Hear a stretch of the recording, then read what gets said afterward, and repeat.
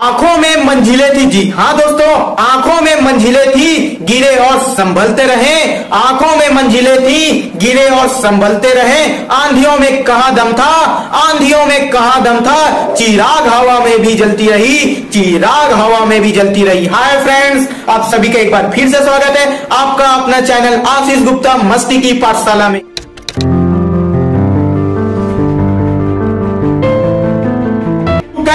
Do it you can do it जी हाँ दोस्तों, आप काम को कर सकते हैं। यदि हम किसी काम को ठान लें कि यह काम मेरे को करना है, यह काम मेरे को करना है तो निश्चित ही आप उस काम को कर सकते हैं। You can do it I can do it but you can do everything ये कभी नहीं हो सकता। हम अकेले ही या फिर हम हम ही किसी काम को, हर एक काम को कभी नहीं कर सकते। अपने अंदर कॉन्फिडेंस की भावना रखो। ओवर कॉन्फिडेंस की भावना कभी भी न रखो। खाली ये सोचो कि मैं कर सकता हूँ मैं हर एक चीज़ नहीं युवा पीढ़ी यह चाह रहे कि मेरे को फ्रीडम मिले। मेरे को पूरी तरीके से आज़ादी मिले ताकि मैं अपनी ज़िंदगी को अपने तरीके से जी सकूँ। सेम टू सेम पिंजरे में बंद एक जानवर भी यही सोचता है। लेकिन जिस दिन हम उस जानवर को आज़ाद कर दें, जिस दिन हम उस जानवर को पूरी तरीके से पिंजरे से बाहर निकाल दें, वो जानवर जीते जी मर जाएगा। उसकी ज़िंदगी पूरी तरीके से बर्बाद हो जाएगी, क्योंकि ना उसे खाना मिलेगा और न ही उसे पानी मिलेगा। वह जीते जी पागल हो जाएगा। इसी कारण युवा पीढ़ी को कह रहा हूँ, वो डिसिप्लिन में रहे फ्रीडम लाइफ के पीछे कभी भी ना भागे। खोल दे पंख मेरे, कहता है परिंदा।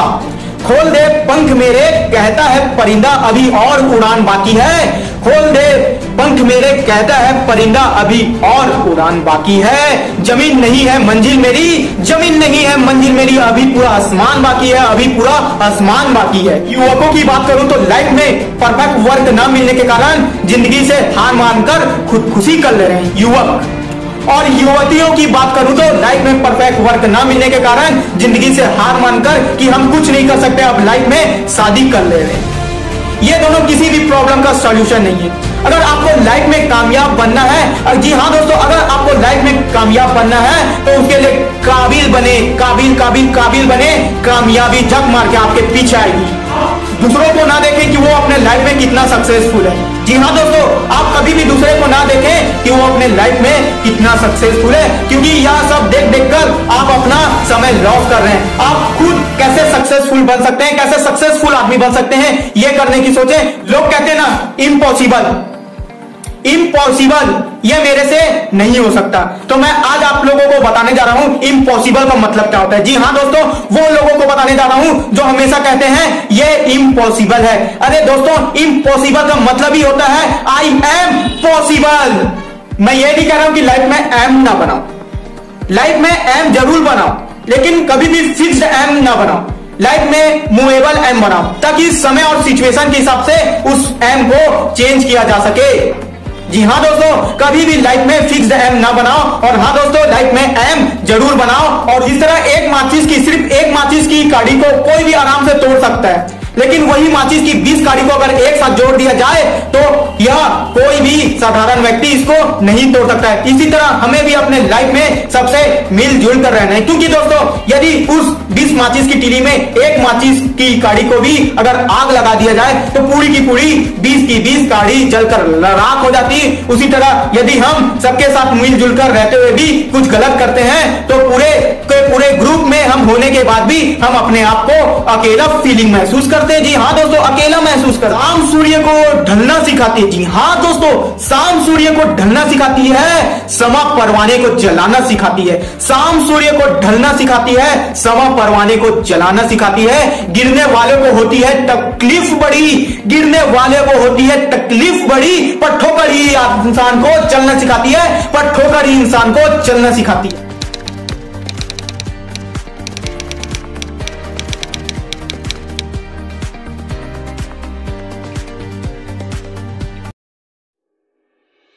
दो दोस्त रहते हैं।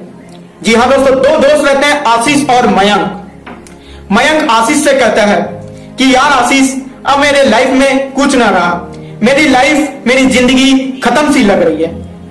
तभी आशीष बात को पलटते हुए कहता है, यार मयंक, यदि कोई तुमको पानी में ढकेल दे तो तुम क्या करोगे? यदि कोई तुम्हें पानी में ढकेल दे तो तुम क्या करोगे? तो मयंक कहते हैं, पता नहीं यार, मैं क्या करूँगा?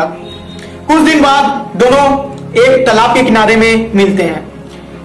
दोनों बात करते रहते हैं। तभी आशीष मयंक को पानी में ढकेल देता है। मयंक का सिर पूरी तरीके से पानी के अंदर आ जाता है। तभी मयंक अपनी पूरी बल लगाकर पानी से ऊपर निकलता है और आशीष को एक टमाचा मारता है। और आशीष मयंक से सॉरी कहते हुए बोलता है कि, यार मयंक, सॉरी यार, जब तू पानी में था तो तुझे क्या सूझ रही थी? तो मयंक कहते हैं, यार, मुझे बस ये सोच रही थी कि कहीं से भी मुझे सांस मिल जाए। जी हाँ दोस्तों, कहीं से भी मुझे सांस मिल जाए। इस कहानी को कहने का सिर्फ़ यह मतलब है, यह तात्पर्य है कि यदि हम किसी प्रॉब्लम को जब तक के फेस टू फेस फेस ना करेंगे, तब तक के उस प्रॉब्लम का सॉल्यूशन कभी भी ना निकलेगा दोस्तों।